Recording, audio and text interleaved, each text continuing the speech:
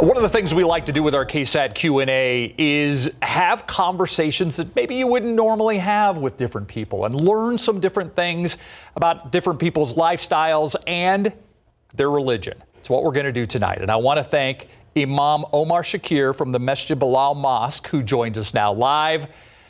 Imam, we've known each other for a while. I'm glad we finally got to put you on TV so we can talk a little bit. I want to talk specifically about Ramadan.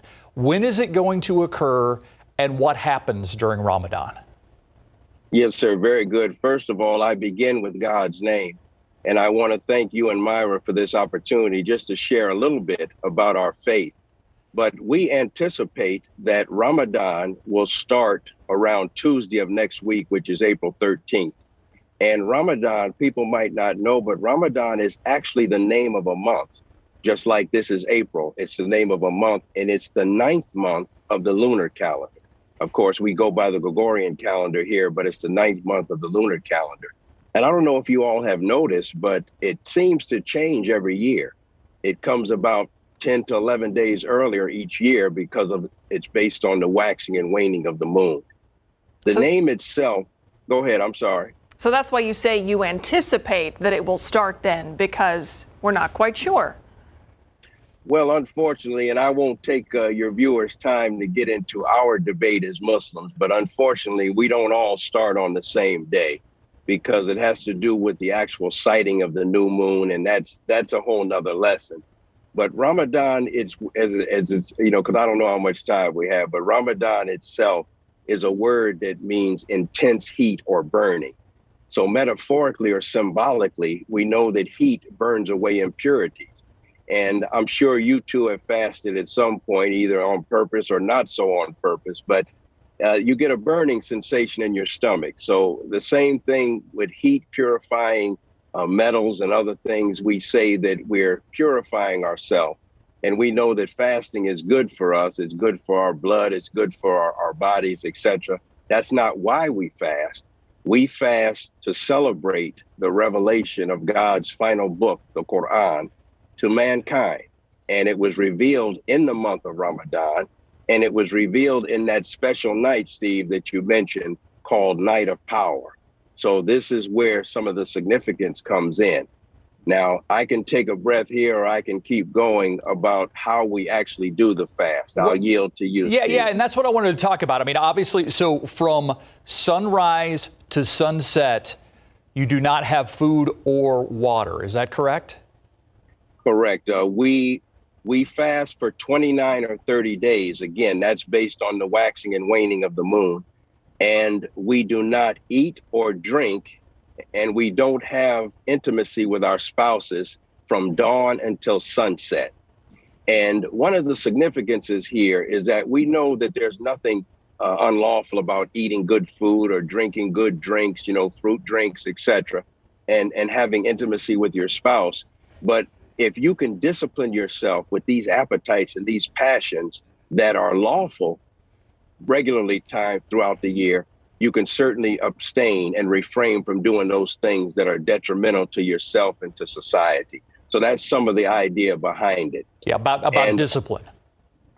It, yes, that we learn discipline and self-restraint. But another piece, Steve, is that we uh, can become more sensitive to those that fast not on purpose, but out of necessity. In other words, the homeless, the people that don't have enough to eat. So it keeps us sensitive to the less fortunate. And during the month of Ramadan, we're to be more charitable. We're to read the Muslim holy book, the Quran. We, we strive to read it in its entirety, all 114 chapters, 6,600 verses. And we also make extra prayers and study and reflection. You mentioned the word celebrate earlier, and I'm glad you did because when you're describing the fasting and the challenges uh, that Muslims observe during the month of Ramadan, it sounds very intense, and it probably is. But this is also a time of celebration, it's a time of joy as well. Yes, that's true. Now, unfortunately, COVID 19 has changed the game somewhat. We didn't do anything last year but many of the, the mosques are starting to open up a little bit more and their social gatherings and things like that. But the main celebration comes with the completion of the fast. The fast will end somewhere around May 12th or 13th, and then we'll have what we call Eid al-Fitr. Eid is a world, a word, pardon me, that means festival, celebration, reoccurring happiness.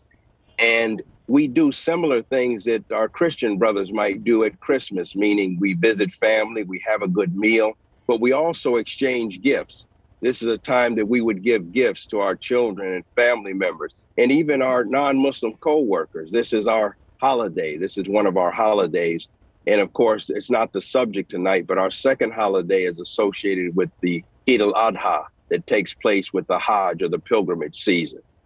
All right. Can, can you uh, text me and remind me when that comes so we can ta- have that conversation? Oh, thank you. Thank hold me, you. hold I'd, me I'd to it. to hold me, that. hold me to it because I want. I, I am fascinated by. You know, I did a little bit of reading and the fact that you know you break the break the uh, fast with dates and you know just the, the, how, all the different traditions that are part of it. So I appreciate you taking the time for us on a Friday. Uh, Imam Omar Shakir from Masjid Bilal Mosque. now before I before I go, Steve, may Yeah. I wish the Muslim community a very happy and blessed Ramadan. And thank you all so much for having me. it was a you. pleasure. Yeah, thank you for educating us. It's always nice when we take a break from the pandemic, from politics, the big issues, and just learn something. So we appreciate your time. Thank you so much. Have a great weekend. We'll be right back.